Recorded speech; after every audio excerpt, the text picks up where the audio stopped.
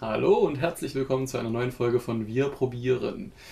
Heute mit Transatlantic Blow. der Ja. Woche. Der Woche. Mhm. Ja. Es ist schon, sagen wir mal, Eindeutig. ja, ich wollte jetzt sagen grenzwertig, weil, also sagen wir so, ein, ein Frauenmund und darunter das Wort Blow, den Zusammenhang kann man sich da dann denken. Denken. Also, Stimulationsdrink noch drauf. Stimulationsdrink. Ja, für den Schnellsten unterwegs, richtig. Das mal wieder nur für die Ficker unter der ganzen Bevölkerung. Äh, es, äh, bla bla, wurde gespendet vom äh, T-Blow Facebook-Team, das aus Dankeschön. einer Person besteht. Aber man weiß ja auch, Team steht ja für toll, ein, Ein anderer anderer macht's. Wie ist es? zitronig. Zitronik. Also wirklich Zitrone. Aber hallo. Mhm. Richtig. Zitrone. Erinnert an das Lemon Soda oder an das äh, von San Pellegrino, das äh, Salbitter.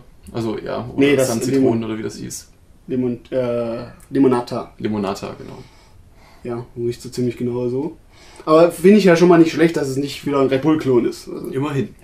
Gibt es im Übrigen, also das wird so in so vier Packs, ähm, 3 plus 1. 3 plus 1 Packs, Mhm. genau. Ja, das steht so dran. Ja, ich weiß. 3 plus 1, Free Can. Also die anderen drei werden vom Preis her so hochgezogen, dass du die eine dann doch mitbezahlst. Wie schmeckt er denn? Also muss dazu sagen, der ist wirklich eiskalt. Hm, Es schmeckt auch wirklich exakt, also würde ich jetzt sagen, exakt wie das, äh, wie das Limonata von San Pellegrino. Ja, Es ist ein bisschen, es erinnert so ein bisschen an diese, an diese Molke Energy Drinks. Mhm. Also von, äh, vom Gefühl her. Also man merkt, da ist so ein bisschen, diese trübe Schwebstoffe drin. Schwebstoffe. aber, sonst schmecke ich da jetzt keinen großen Unterschied. Er ist sehr ähnlich, vielleicht nicht ganz so sauer. Er ist zwar schon ordentlich sauer, aber nicht ganz so sauer wie der. Ja, er ist nicht, er ist nicht übersäuert. Mhm. Also er ist ganz klar sauer, er hält sich ganz klar im Bereich Zitrone auf. Es ist aber nicht so, dass es an die Mundwinkel zusammenzieht. Also es Das ist nicht. schon noch akzeptabel. Interessant finde ich bei dem jetzt das, das, das Spiel zwischen Säure und Prickel. Das ist bei dem ziemlich gut abgestimmt, finde ich. Mhm. Findest du? Mhm. Da ist die Säure und dann kommt der Prickel durch und geht mit der Säure mit. Mhm. Und dann als Nachgeschmack bleibt wieder so eine leichte Säure, Genau. die dann gleichzeitig wieder den Mund ein bisschen wässert. Mhm. Ja, weil dann, also der Mund speichelt nach und spült es dann auch nochmal runter. Und dadurch ähm, kommt so eine gewisse Erfrischung zu, äh, zustande. sehr erfrischend, ja. Und ähm, nee, ich meine jetzt nur auf den Aspekt Mhm. bezogen.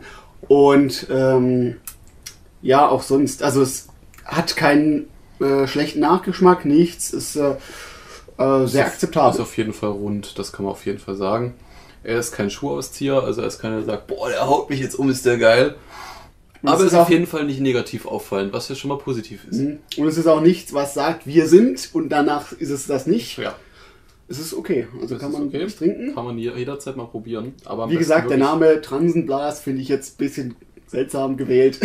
Ja, ich weiß jetzt auch nicht genau, welche Zielgruppe die jetzt ansprechen wollen, ob Anblasen mit wollen. Hoden oder ohne, man weiß es nicht. Hm. Also das Design, Ja, das Design an sich ist ja, ist ja, also dieses einfach relativ weiß gehalten mit diesem äh, Babyblau da, an sich nicht schlecht, Ist nicht nur schlecht, diese Kombination ist halt.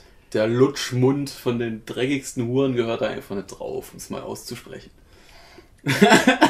Ja. Ja. Das machst du für 5 Mark. Die waren grauenhaft. In diesem Sinne. Adios.